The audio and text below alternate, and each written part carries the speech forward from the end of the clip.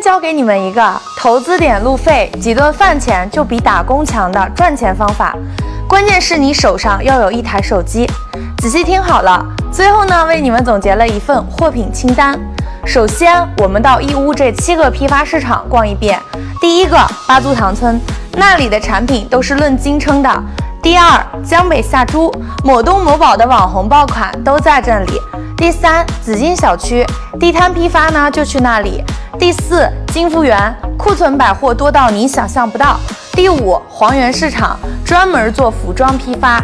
第六，新中小区饰品批发。